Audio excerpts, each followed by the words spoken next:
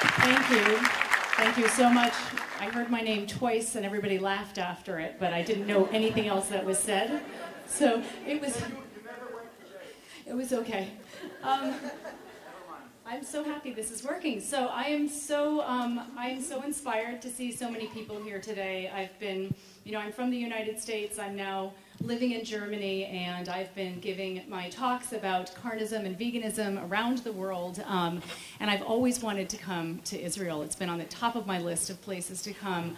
We've been hearing in the United States and in Germany about the amazing things that are happening here. And so I'm curious to learn from you, and I've been curious to see what's going on with my own eyes. And um, thank you for the amazing work you're doing. It's just such a privilege. So let's get started. So um, today I'm going to talk about the stories, um, the fictions, the fictitious stories that are created by and help create the dominant animal eating culture. And about the powerful impact of these stories, about the powerful impact of these stories on ourselves and our world. I'm going to talk about this because recognizing these stories is essential for the empowerment of us as individuals and also for the vegan movement. And the foundation of this empowerment is called speaking truth to power. So, now to explain this concept of speaking truth to power, I'm actually going to share a story with you briefly. As many of you probably know, through the first half of the 20th century, women were considered inferior to men and they were there, therefore destined for a life of domestic servitude. So many women lived lives of boredom and isolation, and yet they just accepted their fate. But then in the 1960s, something happened. Women began talking with each other about their feelings and experiences. And over time, these conversations led to the establishment of um, formal discussion groups. And as more and more women shared their stories, they realized that they were having similar experiences, such as being abused by their domestic partners. And what they realized was that they were not inferior, they were oppressed. So these groups empowered women to speak out against their, we're having a little mic problem, to speak out against their oppression. They empowered women to speak truth to power. And these groups actually helped launch the modern women's liberation movement, which was to change the world. So there are important lessons in this story for us as individuals and as vegans. Of course, stories shape our lives and our world for better or worse. For example, when women believed the story of the dominant sexist culture, when they looked at themselves through the eyes of males, they believed that it was their own personal deficiencies that were to blame for their lower social status. But when they shared their own stories, they realized that the problem was actually rooted in external power structures. Stories can be fiction or fact. For example, the story that women were inferior because they were overly emotional, irrational, and weak was a fiction. It was based on gross distortions about women's true nature and experience. True stories, on the other hand, reflect the authentic truth of our experience. And widespread stories reflect and reinforce a widespread belief system or ideology. For instance, the widespread story that women were inferior didn't come out of nowhere. It reflected the widespread ideology of sexism. And the more women and men alike believed in this story, the more they acted it out and reinforced the stereotypes, for example, of dominant males and submissive females. So today, today I'm going to talk about the widespread stories that our culture teaches us about eating and not eating animals, and about the ideology that drives these stories. I'm focusing on this subject because as soon as we recognize these stories for what they are, as fictions, we can rewrite them and we transform our relationship to them so we can have more fulfilling and inspired lives as individuals and be significantly empowered and more effective as activists. Because when we change our stories, we change our lives and our world. Now, before we talk about the specific stories, I want to briefly talk about the ideology that breeds these stories. Now, a lot of people here are familiar with my original work on the ideology of eating meat, so I'm going to only talk about this briefly. In much of the world, people still believe that there is no ideology or belief system of the dominant animal eating culture. There's vegans and vegetarians, and then there's everybody else. But when eating animals is not necessary for survival, which is the case for many people in the world, then it is a choice. And choices always stem from beliefs. And so this is the ideology that I've called carnism, the invisible belief system or ideology that conditions us to eat certain animals. Now, carnism is a global phenomenon. It exists around the world. It is, as I've said, a dominant ideology. It's woven through the very structure of society, shaping norms, laws, beliefs, behaviors, etc. It becomes internalized to shape the very way we think and feel about eating animals. And of course, it's a violent ideology. So carnism is truly a system of oppression. But participate in carnism, people who eat animals, also actually care about animals. And so, of course, carnism and similar ideologies need to use the set of defense mechanisms that distort people's thoughts and numb their feelings so that they support oppression without fully realizing what they are doing. Now, these carnistic defenses tell stories, okay? They tell fictions, fictitious stories that support the ideology. The stories distort people's perceptions, and then the perceptions block our feelings, and the feelings enable the behaviors, and they look more like this. This would be an example. So carnism uses the defense mechanism that uh, is called objectification, seeing animals as objects, right? The story that objectification tells is animals are things. When we see animals as things, we think of a turkey as something rather than someone. We therefore don't feel as much natural empathy towards him or her, and it's easier to eat turkeys. Make sense? And the more we eat turkeys, the more we reinforce what? Carnism, right? Actually, if I, my Mac doesn't let me make circles, so this is supposed to be a circle. It's a feedback loop. Anyway, isn't there a word that's used to describe the fictions that are told to us by the dominant culture? Kind of, maybe? Now, there are two kinds of carnistic defenses. There's primary defenses and secondary defenses. My work has in general focused on primary defenses, and I'm only going to talk about them briefly today because the focus of this presentation is on secondary defenses. So, in general, primary defenses exist to validate carnism. The main overarching story that they tell is that eating animals is the right thing to do. So we have lots of examples of this. Secondary defenses, on the other hand, exist in order to invalidate veganism, to make veganism be seen as wrong. And of course, the primary story that they tell is that not eating animals is the wrong thing to do. I don't know if you guys have ever seen this book here. Don't bother. It's, it's really not worth it, but it's an example of secondary defenses. We'll talk about this a little bit more later. Primary defenses distort the truth about farmed animals and meat eaters or non vegans. So they teach us to see animals as objects, they teach us to believe that people need to eat meat. And secondary defenses distort the truth about vegans and veganisms, right? Veganism. So, for example, they tell one story they tell is that veganism is, uh, or vegans are unhealthy. So, Let's look very briefly at primary defenses. Now, the main defense of carnism is denial, which is expressed largely through invisibility. Carnism remains invisible um, in part by telling us the fiction that there is no belief system.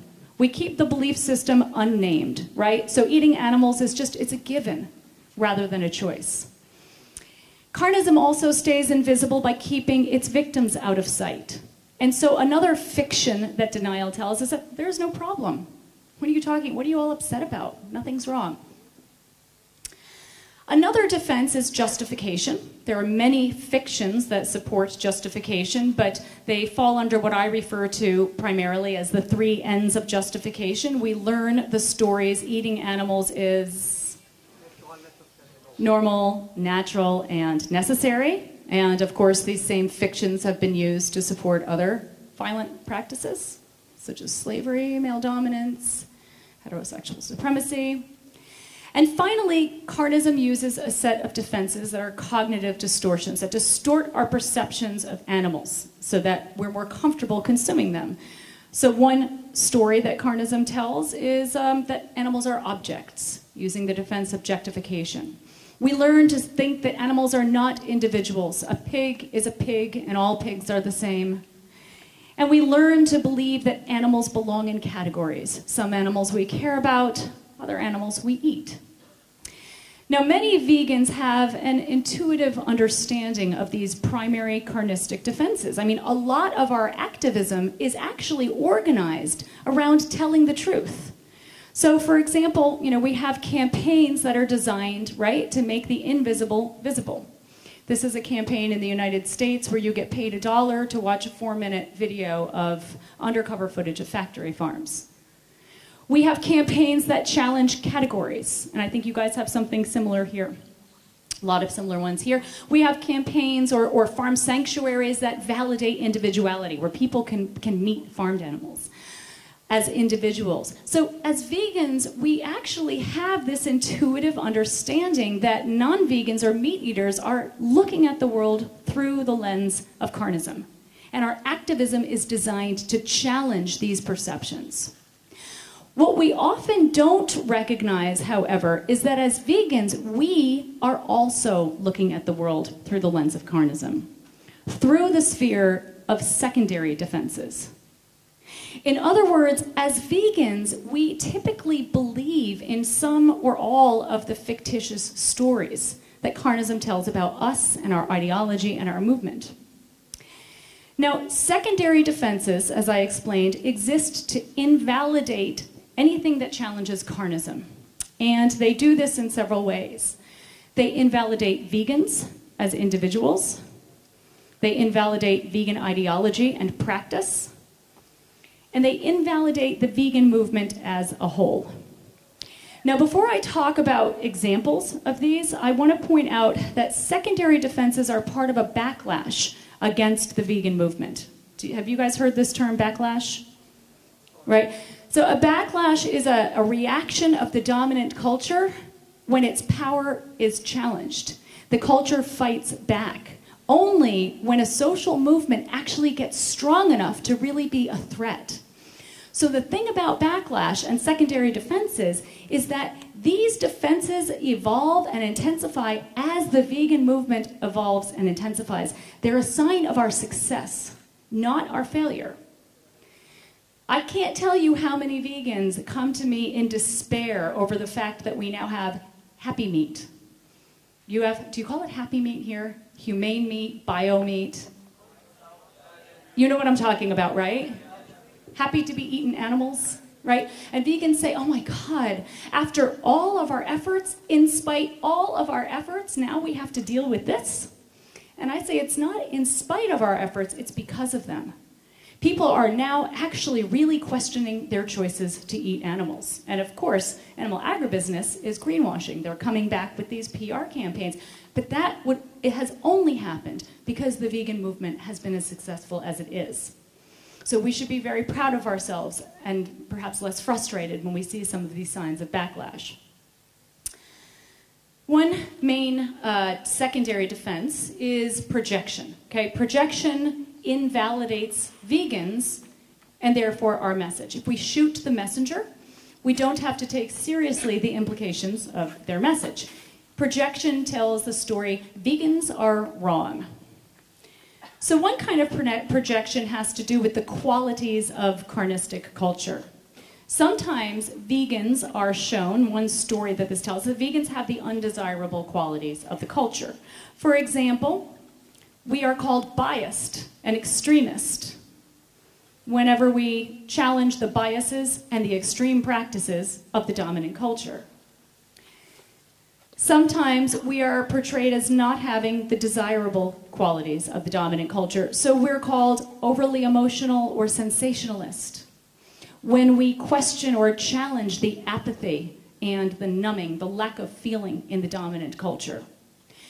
When we don't recognize these projections, we can actually believe in these stories. And we can end up feeling like something's wrong with us, like we're too sensitive because we're, have you heard this before? You're you know what I'm talking about.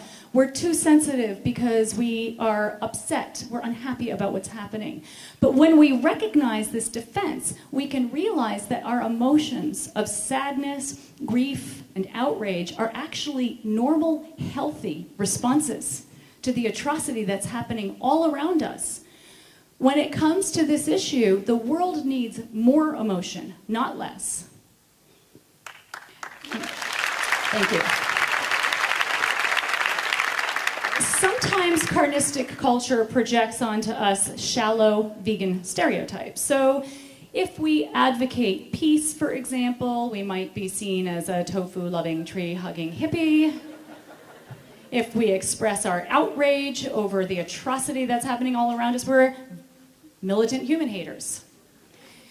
Now, if we don't recognize these projections, we can actually act them out and become them in sort of a self fulfilling prophecy. There's nothing wrong with being a hippie, but there is a problem with being uh, reduced to a one dimensional image. Another projection makes us seem like we have to be the all powerful vegan. Um, in other words, we're actually told, we're given the message that we only have a right to our ideology if we can live up to an impossible ideal. So, for example, we're expected to be paragons of health, perfect models of perfect health all the time. I'm just curious have you ever pretended that you're not sick around meat eaters? Okay, right? Because as soon as you sneeze, it's because you're a vegan. Something's wrong with you. But the guy next door who just had open heart surgery after a lifetime of eating hamburgers has bad genetics. And we're also expected to be paragons of virtue with, like, you know, the moral consistency of the Buddha. So we're hypocrites if we wear silk, but then we're extremists if we don't. And we're expected to be experts on everything. I mean, think about it. It's like agricultural economics, organic, veganic, hydroponic mushroom farming, quantum physics. So, like, we're only allowed to uh, talk about veganism if we have all the answers to the problem of carnism. I mean, just imagine somebody who's working for like blind children, for example, being cross examined and attacked because they don't understand the new pharmaceutical implications of restoring sight and they don't understand retinal surgery. And the, I mean, it would never happen, right? So nobody's going to have all the answers to the problem that is carnism, and certainly we're not going to be able to figure this all out for a long time. When we don't live up to this impossible ideal, then it becomes an excuse to invalidate everything we stand for. And this puts a tremendous amount of pressure on us. So many vegans feel like they have to be perfect. So many vegans feel like, you know, I am the ambassador for the movement, for better or worse. I'm the only person who's vegan that's meeting these people so I better turn everybody around me vegan. And if I don't, I have failed and I feel guilty. Can you relate to this a little bit? Okay, so the good news is that we cannot and we should not be perfect. It's not fair. This is a projection of the dominant culture, culture. It's one of the reasons that we burn out and get exhausted and get frustrated because you have to be on all the time. It's too much responsibility for one person to carry, and the whole success or failure of the movement does not rest on our shoulders, on individual shoulders, advocating all the time. People don't stop eating animals until they are ready to stop eating animals. People, so many vegans talk to me and they're so frustrated and they say, you know, my friend saw earthlings. You know earthlings, right? Yeah, of course you do. I mean, all right, you know, and then he was like at McDonald's the next day, or, you know, what's wrong with him? He's a psychopath. People, people need to, people can be exposed to a lot of information and not change because asking animal, asking people to stop eating animals is not simply asking for a change of behavior, it's asking for a shift of consciousness. People don't change the way they think until they are ready to make those changes. It just that's just straight psychology. So it's not up to us to make people change. That is too much of a burden. My friend, um, the author Colleen Patrick Goudreau says, just as your goal, plant seeds. That's it. Your goal should be to plant seeds. People want to ask you about veganism. Tell them, you know, I always say, use your story. Tell them through your story. Why did you become vegan? I became vegan because I learned about what happened I didn't want to be a part of that. And then I got really healthy. That's a great thing. That's it. You plant those seeds, live your truth. And I think that one of the most important things that we as vegans can do for our movement is to practice nonviolence toward ourselves. Because if we don't, we are going to be unhappy and exhausted and burn out, and we are animals too, and we deserve to live lives that we actually feel good about. And we deserve to be able to go to that party and just have a good time and not have to be on and that vegan who's teaching everybody. Sometimes we just need to take a break. Now, sometimes vegans internalize this projection that vegans are all powerful and should be perfect, and they actually believe in vegan perfectionism, and they can start believing that their brand, their form of veganism is the perfect ideal. And then those vegans can look at other vegans and start making them feel like they're imperfect and wrong. In the US, we use this expression, I don't know if you say that here, the vegan police, right? There's one way to be vegan. And I mean, this kind of perfectionism can lead to a fundamentalist thinking that's actually a problem. It's very divisive in social movements, all kinds of social movements, not just, um, not just the vegan movement. Now, a final projection is the pathologized vegan. Um, this projection tells the story vegans are physically or mentally ill. Now, thanks to the efforts of vegan activists and vegan professionals, this image of the skinny, sickly vegan is becoming a thing of the past. But psychologically, it's not uncommon even today for people to assume, including psychologists, to assume, for example, that when a young woman decides to become vegan, that maybe, well, what do you think? Yeah, maybe she's got an eating disorder, right? So instead of recognizing that this is an incredibly psychologically healthy thing for a young person to do, to want to live in alignment with their values, we pathologize them and say, oh, what's wrong with you? You've got an eating disorder. So, you know, and this pathologizing of people who challenge oppressive systems is not new. I mean, in uh, before slavery was abolished in the United States, um, slaves who attempted to escape were actually diagnosed with the mental illness that was called drapetomania, because you have to be crazy if you don't want to be a slave. It is a powerful way of silencing those who speak out against the status quo. Now, another secondary defense is justification. We've talked about primary justification. It tells the fictions eating animals is normal, natural, and unnecessary.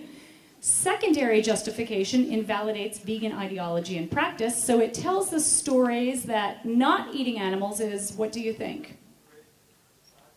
Abnormal, unnatural, yeah, and unnecessary, unnecessary for health we can see these secondary justifications getting expressed in this like happy meat moving, movement, like not eating animals is abnormal. Veganism is so radical. It's really so far outside the norm. I don't want to hurt animals, but I don't want to be a radical, so I'll just eat happy animals. Um, we can see how this idea of veganism being unnatural being expressed through like the sustainability, the sustainable meat movement. You, do you know Michael Pollan here, for example? Um, the omnivore's dilemma, you know, it's eating meat is okay as long as it's local, as long as it's environmentally conscious. And we can see this kind of challenge of um, necessary through the paleo, and I think you guys have paleo people here? Okay. So, you know, the super meat. These are all kind of new forms of carnism that are emerging as the vegan movement becomes increasingly successful. And finally, we come full circle to denial, the main defense of the entire system. Now, as you might recall, denial tells the fiction there is no belief system. That's one of the stories that primary denial tells. But secondary denial takes this even further. Because if we believe that people who eat animals are operating outside of a belief system, and a dominant belief system at that, then we believe that there's no dominant group, there's no majority group. And then we believe what? If there's no majority group, then there's also no minority group. So we fail to see that vegans are an ideological minority group. Now, this has serious implications. It may not seem like a big deal, but it's very important. Um, have you ever been in a situation, for example, where you were maybe teased or made fun of for all the time? Okay, so always, not sometimes. Okay, but for no reason other than the fact that you're a vegan. Right, so when we don't recognize that vegans are an ideological minority group, we don't recognize that a lot of what we experience is prejudice. Carnistic prejudice is deep seated and it is pervasive. And very often we experience the things we experience and feel like they're personal, they're about us. And they are personal in that they hurt us, but they come from a deep seated prejudice that even the people doing them don't recognize that they have. And humor, prejudicial humor, has historically been a tool to silence people who speak out against dominant systems. I mean, think about it. When you're in a situation and people are teasing you for being vegan, you have two choices essentially, right? You can laugh along with them, and then you participate in your own oppression, right? Or you can tell them it's really not funny, and then you're, oh my God, you can't even take a joke you're that serious vegan. But when we recognize that this is a form of prejudice, then we can speak out about the prejudice. We share the truth of our experience and how we're being impacted. Now, to um, demonstrate another reason it's important to recognize carnistic prejudice in the culture is because it's so pervasive, it creates a carnistic bias that results from the prejudice that's invisible to just about everybody in the culture. For example, when we study nutrition, we don't actually study nutrition. What do we study? We study carnistic nutrition, right? Vegan nutrition is biased, as though all nutrition is somehow neutral. Another deni- story that denial tells, as you may recall, is there is no system of oppression. There's no problem. If we believe this fiction, then we also believe that animal agriculture is not an atrocity. An atrocity can be described as a mass trauma or mass traumatization. And if we believe that there's no atrocity, there's no trauma happening, then we also believe, well, in the world, there's no victims, there's no perpetrators, and there are no witnesses. And this also has serious implications. For example, Raise your hand if you or anybody you've known has ever experienced any of these things as the direct result of being vegan or being an activist. Just curious. Depression, intrusive thoughts, that means you just suddenly think about animal suffering, that film you wished you hadn't seen, okay. Um, nightmares about animal cruelty, loss of faith in humanity, maybe. There we go, full house. irritability, irritability, just getting frustrated really easily, okay? Feeling like your activism is never enough. Doesn't matter what I do, it's just never enough. The day doesn't end. Or maybe even feeling guilty for enjoying yourself. Like when you're having fun, you're saying, How can I actually enjoy myself with all the suffering going on? Okay, you get my point, right? So if we were to talk to, if you were to talk to somebody about this to try to get help, emotional support, psychological support, you might be told, you know, you have depression, you have anxiety, who knows. But when we recognize these fictions for what they are, we recognize that as vegans, we are witnesses. Witnesses are those who are willing to see the truth, typically the truth of an atrocity. And all of these feelings and experiences, and there's actually a very long list, these are normal, almost inevitable responses to being willing to see the truth of an atrocity that's happening. They are all, in fact, symptoms of what is um, referred to as secondary trauma, or STS. Have you, you've heard of PTSD, post-traumatic stress disorder? Okay, secondary traumatic stress is exactly the same thing, except that it impacts people who witness, who see the violence. They're not the direct victims of the violence. And it's especially bad when you live in a culture that denies the reality of the violence in the first place.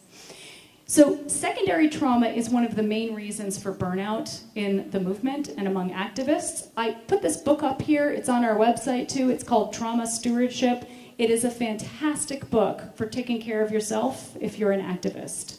The good news about recognizing secondary traumatic stress is that once you recognize it, you can change it. You can actually heal it, you can prevent it, and you can create a sustainable life. A sustainable life, in my definition, is when you take into your life as much as you put out. Activists often are giving, giving, giving, working, working, working, and they're not stopping to take care of themselves. If we don't do that, we're going to have nothing left for the movement or for ourselves, and we are animals too. So um, if you're interested in this, um, you can go to our website, and I'll give you that resource later, um, and, and check out this book. Again, coming back to the denial that says there's no system of oppression, this also leads us to believe well, if there's no system of oppression, then it's just eating animals, it's not an act of oppression, it's just a matter of personal ethics. You might have heard of that before. You do what you want to do, I'll do what I want to do. I mean, imagine it like believing that owning African slaves, for example, had nothing to do with racism. So when we believe this fiction, we also believe that eating animals is not a social justice issue, it's a personal choice. And we therefore believe the fiction that the vegan movement is not a social justice movement. It's just a group of people who care more about animals than they do about humans. If we believe these fictions, they keep us disconnected with the other social movements that we're naturally aligned with and that we need to unite with, in my opinion, for all of our work to be successful.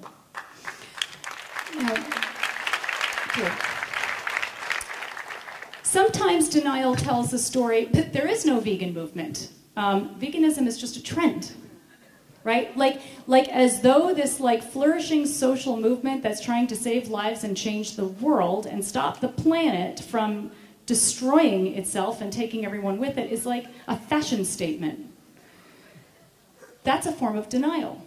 Or they might say, well, the vegan movement, it's tiny, weak, and effective, and vegans feel, therefore, powerless to make a difference. It doesn't matter what I do, it's not going to make a difference. These are fictions, they're stories, they're not the truth. I have been, I can assure you, I've been giving my carnism presentation and speaking, I've been on five continents now, and everywhere I go, I see the same thing, which is that the movement is just exploding. it, it is thriving and it is growing exponentially.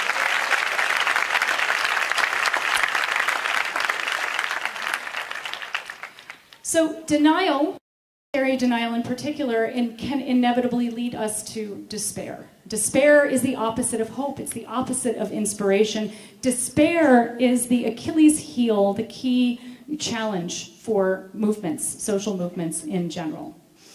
But the good news is that um, when we recognize these stories, as I said, we change our relationship with them. So instead of being reactive in our veganism, we can become proactive.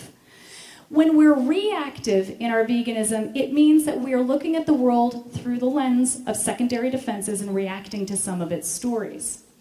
It means that we have taken some of those stories that we hear about ourselves in and internalized them. In other words, that we've internalized the oppression of the culture. So then we end up doing carnism's job for us. We keep ourselves down so carnism doesn't have to work so hard. One form of internalized oppression, or one story that members of minority, all types of minority groups always hear, is that our needs are less valid and important than the needs of members of the dominant culture. So, I don't know, for example, have you ever gone to a family dinner and asked them to please just keep the cheese on the side? Or, and, and somehow the need to have a traditional meal is more important than your need to eat the meal? right? And this is, this is one of those messages. Um, internalized privilege is the opposite. It's what members of the dominant culture learn to believe about themselves when they learn to believe their needs are more valid and important. So, for instance, I don't know if you've ever invited um, uh, a non vegan to go to a vegan restaurant with you, and they say, Well, there's nothing I can eat there. What am I going to do? Right. You know what I mean. So, very often, internalized oppression, this idea that I'm less valid and less important, can lead to feelings of shame. I mean, I know a lot of vegans that apologize for being a picky eater, for inconveniencing people. Shame is the feeling of being less than. Shame is what we feel when we look at ourselves through the, the eyes of others and we believe their version of reality over our own. Shame is how we feel when we're apologetic for caring about the animals and about the movement. Sometimes people who feel shame flip into its opposite, which is grandiosity. And that's feeling better than, superior, right? So when we feel shame, we look at ourselves through others' eyes too much. When we feel grandiosity, we refuse to look at ourselves through others' eyes at all. We feel better than, and we can end up shaming others, feeling superior, acting superior, for example. But when we practice proactive veganism, we don't feel shame, we don't feel grandiosity. We approach our activism and ourselves with an open mind, curiosity, an open heart, compassion, and we transform our shame into pride. Not egoistical, egotistical pride, but pride, feeling grounded in our truth, proud of who we are and what we do and what we stand for. And pride is essential for all social movements. I mean, just think about black pride, we have gay pride, and now we have veggie pride all over the world. And, and we have a lot to be proud of. We have a lot to be proud of. So ultimately, when we recognize these carnistic stories, these fictions for what we are, what they are, we don't underestimate their power. As a powerful man once said, make the lie big, make it simple, keep saying it, and eventually they will believe it. We don't underestimate their power, but we also don't overestimate their power. Because as a more powerful man once said, all through history, the way of truth has always won. There have been tyrants and murderers, but in the end, they always fall. Think of it. Always. And we can therefore appreciate what is perhaps the greatest lie of all carnistic lies. And that is the lie, the fiction that people don't care. That people eat animals not because their hearts and minds have been manipulated by a violent system that's hijacked their awareness, but just because they don't care. And I can assure you, this is a lie. Everywhere I go around the world talking to large, thank you. Thank you for helping me to see what's going on. I'm going to actually share some of the written responses that I've gotten after presentations. Can you see it in the back?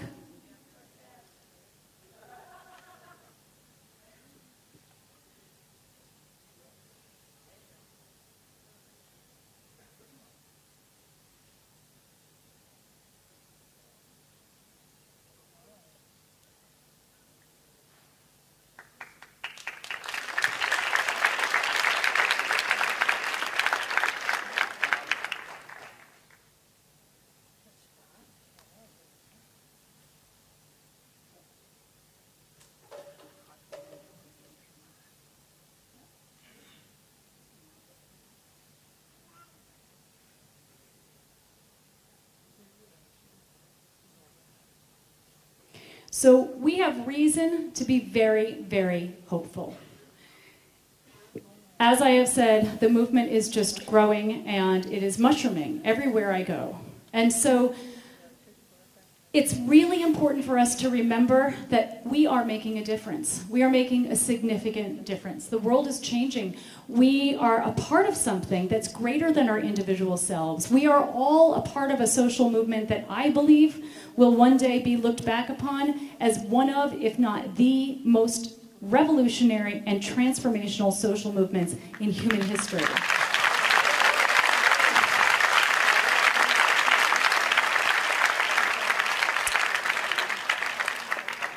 So there's reason to be very hopeful and never to doubt that our efforts are making a difference. I mean, who you are and what you do are the greatest threat to carnism.